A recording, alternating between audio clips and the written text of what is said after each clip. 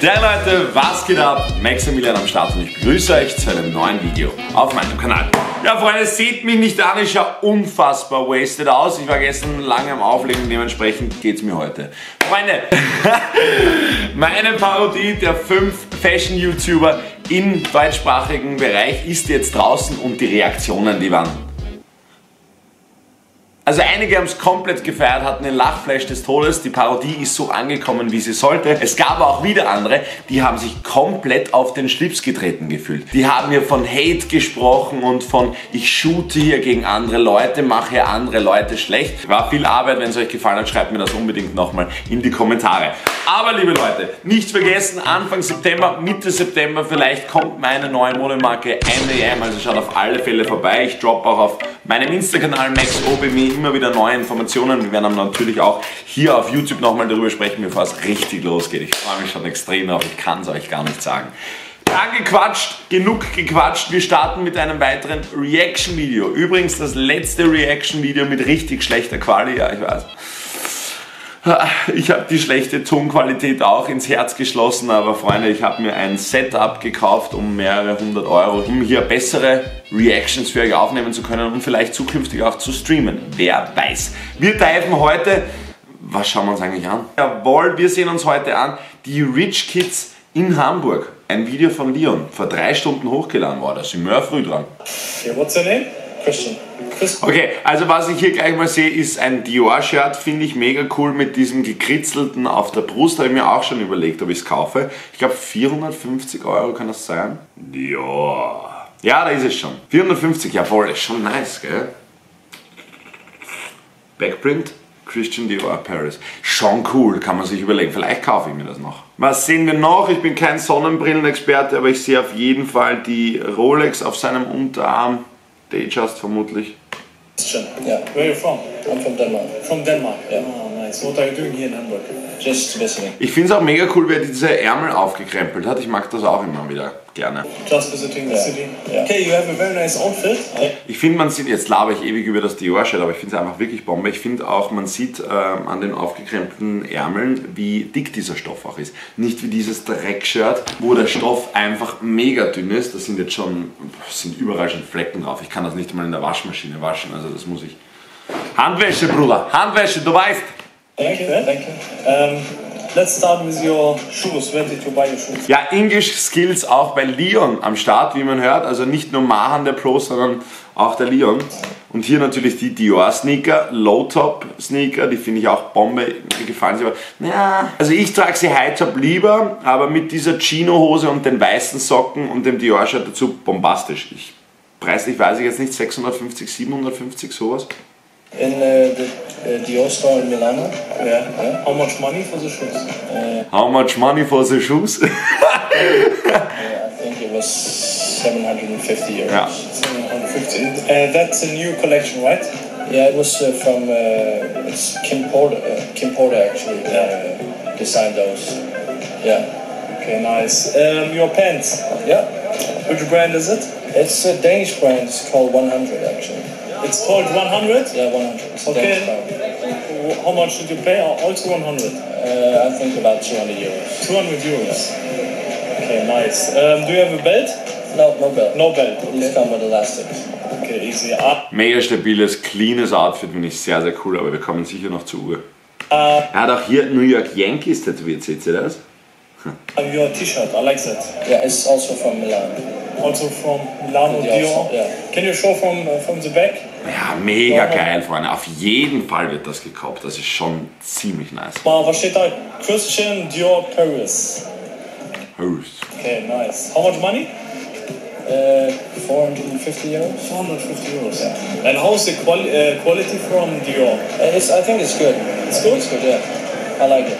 Okay, nice. Your watch, what's that? It's a Rolex. Datejust Datejust. 2, 41 millimeters. Okay. Ich muss nochmal zurück. Ist die Gold-Silber gewesen? Das wäre nämlich das erste Mal. Ja. Das ist das erste Mal, dass mir eine gold-silberne Uhr gefällt. Ich finde aber seinen Style auch bombastisch. Ich finde echt, dass der richtig nice angezogen ist. Wirklich cleaner Fit, no joke. Rolex. Jetzt sage ich schon no joke. Wahnsinn. Datejust, Datejust. two, 41 millimeters. Okay. Yeah. How much money did you pay for the Rolex? I think about 11,000 euros. Yeah. Um, from the Rolex store or from where did you buy it? I bought it from uh, a Rolex, uh, official Rolex dealer. Not an official Rolex store, but one Official of the Rolex dealer. Yeah, exactly. Like Okay. the one you have over here. Uh, does the price from the Datejust increase or decrease a little bit? Mm, I think it's like the same. Also Vokabular hat er, nur die Aussprache ist so ein bisschen äh, typisch deutsch einfach. Oder typisch, typisch österreichisch auch. Es gibt so viele, die bei uns genauso reden, das ist einfach so witzig. Been the same for a few years, but I think Rolex prices go up a bit every year, or Okay. like every third year or something. So it will increase, but it's not a watch that adds value because it's not a, uh special model anything. Mir gefallen Datejust immer mehr. Ich bin jetzt echt schon am überlegen, ob ich mir noch eine hole, weil für 11k kann man nichts falsch machen. Aber andererseits gibt es dann so viele andere Dinge, die ich gern mit den 11k mache, wie zum Beispiel Bitcoins investieren. Da wird einfach, das wird halt schneller mehr Geld. Wobei Rolex auch eine Wertanlage. I don't know. Schreibt mir in die Kommentare, wenn ich mir noch eine Rolex holen soll. Okay. Okay, nice. Um, your ring. This is uh, Can you show a little bit? this is actually from my girlfriend. Ah, okay. Der- Der hat aber ein spendables Girlfriend. So eins würde ich auch nehmen. Is it a diamond ring? Yeah, it's golden diamonds. Oh, nice. So, Show me a. Uh, is there a stone missing? There's a stone missing, and that's uh, like it has a history, so Ah, okay. So- And how much money for? Uh, you can add a price to that. It's like it has a. Er weiß nicht, was ein Geschenk ist. It was given from heart, so you know. ah, okay. So it doesn't matter how much it Yeah. No, costs. exactly. Easy. Ich guck mal, was der, Preis, äh, was der Ring kostet, Leute, und äh, rechne das auf jeden Fall mit. Der so ein Pisser. Er sagt, ja, da kann man kein Preisschild dranhängen, das ist ein Geschenk, das von Herzen kommt. Und äh, Leon einfach so, ja Freunde, ich schau einfach nach, was das kostet und schreib mal den Preis da rein. Und er versteht es nicht mal, weil er Däner ist. Okay, um, your chain. This is uh, yeah, it's a gold chain Gold chain, yeah. with the Virgin Marian. Yeah. Yeah. How much money for the? Uh, I don't know. It's, it's old, so I can't remember how much I paid. It's 18 carats. So. Ah, okay. Kein Plan, Leute. Muss ich auch dazu rechnen. Um, your glasses. These are no-name glasses. These are no branded, so these are actually Ten. yeah, probably 10, 20 years. I don't know. Okay, perfect. Do you have anything else? No. Okay, Leute, Gesamtpreis blende ich jetzt hier mal ein. Ich muss sagen, freshes Outfit, Leute. Die neue Dior-Kollektion gefällt mir relativ gut, muss ich sagen. Das T-Shirt hat was. Wie heißt du? Mein Name ist Ja, Wahnsinn, wen haben wir denn hier? Der kleine Bruder vom Lil Lano. Mark. Marc. Ja. Marc, Wobei, so ein bisschen, als würden Lilano und Prinz Markus von Anhalt ihre Gene in einen Topf Boah, ich bin schon wieder richtig krass drauf, Freunde. Okay, okay, okay. wir hatten dich doch schon mal äh, ein Video auf der Hypercon, ne? Genau das. Was hat er da an? So ein bisschen Desigual-mäßig. Keine Ahnung, was das ist. Erinnert mich ein bisschen an Dolce und Gabbana. Naja, du know. Richtig. Was geht hier in Hamburg heute? Ja, chillen, shoppen. Bis Ja. jetzt noch nichts gefunden, aber mal sehen. Ja, hast du irgendwas Bestimmtes, was du dir kaufen willst? Oder? Einfach noch nicht. Leon heute im Herren-Style unterwegs mit seinem langen Coat hier. vorhin in der Europapassage und auf dem Okay, bla bla. Was der privat so unternimmt, interessiert uns nicht. Ich sehe schon, er sieht nach unten, also jetzt geht's los. Generell so ein bisschen was Auffälliges, so, ne? Ja. Ist mehr so. Ja. Kann, was hast du Schuhe? Philipp Plein Schuhe.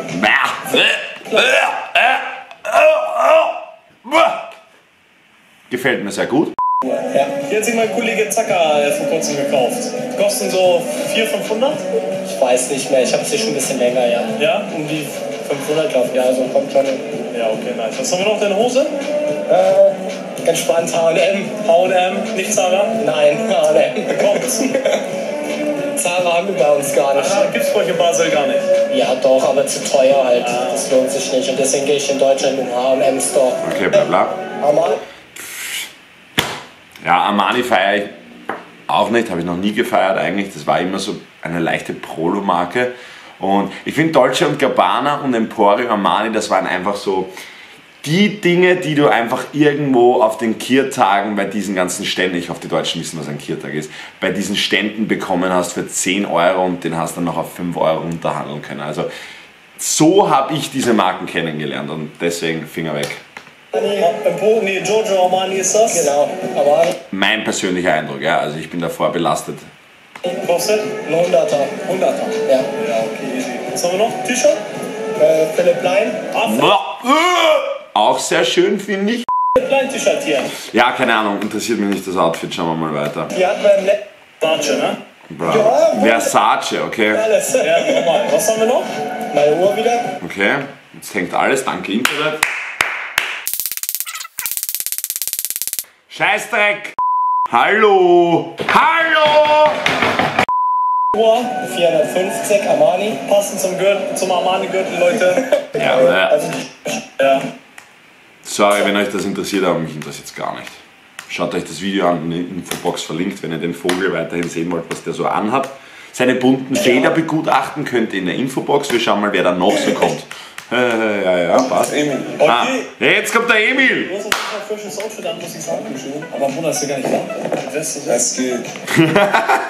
Es hat, schaut euch bitte mal die Leute an. Also, wenn Frauen kurze Kleidung anhaben, muss es warm sein. Ja? Also sie hat hier kurze Hosen, da kurzes Shirt. Auch er steht im kurzen Shirt da hinten. Die ältere Dame, die dann prinzipiell eher ein bisschen frischer ist, auch kurz. Und er kommt einfach mit der Montclair Daunenjacke, mit dem Daunengelee und einem langärmeligen Sweater. Also wenn dem nicht heiß ist, ist, ist dir heiß. Es geht. Es geht. Also man weiß ja nicht, Hamburg. Mal regnet es, mal nicht. Normal. Man weiß nicht. Ah, Ja, okay. Lass uns auf jeden Fall da geht er gar nicht mehr näher drauf bei ein. deinen Schuhen anfangen. Ja. Grüß. Okay, Balenciaga. Ich habe für die 450 gezahlt. Ja. Woher? Äh, Alsterhaus. Alsterhaus. Genau. Okay, entspannt. Und sind die bequem noch? Ja, ne? Ja. Ich höre mal, äh, die sollen am Anfang so extrem unbequem sein. Stimmt das? Das stimmt Echt jetzt? tatsächlich, ja. ja. Ich höre mal, äh, die sollen am Anfang so extrem unbequem sein. Stimmt das? Das st- So extrem unbequem. Ich finde es so witzig, wenn Leute statt Q, Q sagen. Also unbequem, Quelle, ähm, ein Quantensprung. okay, ich mache mich heute extrem lustig darüber, wie die Leute reden, aber wer mich privat kennt, ich finde einfach Sprachfehler irrsinnig witzig. Und wenn man sich verspricht, das finde ich auch extrem witzig. Wenn Leute was komisch betonen, finde ich das umso witziger. Aber ich mache mich da bei meinem eigenen, also ich nehme mich da auch selbst bei der Nase und finde auch meine eigenen Sprachfehler sehr, sehr witzig. Also das sind einfach Dinge, die unterhalten mich. Es gibt Leute, die finden es witzig, wenn einer furzt. Ich finde es witzig, wenn sich einer verspricht. Okay, was haben wir noch? Äh, Weste. Na klar, du. 700? 450, 415. Boah, ich kenne mich gar nicht aus. Ja. 415. 415 bis 450. Moncler ist echt sowas, nee. Der die D-Squared Cap am Kopf, klassischer Icon Cap Stempel, den können wir natürlich auch nicht vergessen. Uhr. Die Uhr von Armani, 450. 450 Euro. Automatik, nee, ne? Das denkt man nicht. Das Batterie. Das weiß man doch. Vor allem, warum lacht er auf diese Frage? Ist das eine Automatik? weiß ich nicht. Wie kann man das nicht wissen? Musst du Batterien reingeben oder bleibt die Uhr stehen, wenn du sie zu lange irgendwo liegen lässt? Okay, was haben wir noch? Jetzt haben wir noch Cappy. die Cap von Icon, Ja. 115. 115 Euro. Hier bei Mynthos gekauft. Genau, auch von Mentos. Okay, spannend. Was haben wir noch? Das war's, oder? 700, 1000, ist ja egal. Ja, okay. Zahnspangen auch mega teuer, könnte man da noch reinnehmen. Perfekt. Okay, Emin. Äh, Leute, Gesamtauswahlpreis bin ich jetzt hier Emin. Hab ich falsch ein. verstanden. Emin, freshes Outfit, ne? Und damit sind wir fertig mit diesem Reaction-Video. Ich muss dazu sagen, Resümee, der erste hatte den coolsten Fit von allen, also der hat mir am besten gefallen. Der zweite, den kannst du vergessen. Ja, also ich weiß nicht, ob der als Kind äh, zu viel mit Faber-Castell gespielt hat und das hängen geblieben ist, aber Dono, nicht mein Fall. Dieses schlecht kombinierte, bunte, es muss einfach gut abgestimmt sein und wenn du so viele Farbtöne ineinander mischt, dann ja, kannst damit auf die Love Parade gehen, aber nicht auf die Straße meiner Meinung nach. Aber rein meine Meinung. Liebe Freunde, wenn es euch gefallen hat, lasst auf jeden Fall ein Like da. Ich verlinke euch jetzt noch hier und hier ein weiteres Video von mir. Schaut auf Instagram dabei, seid am Stiesel, denn jetzt wird spannend. Wir gehen in die entscheidende und letzte Phase, kurz bevor meine neue Marke MEM droppt. Also seid auf jeden Fall am Start und immer informiert. Danke fürs Zusehen. Das war's von mir. Euer Maximilian.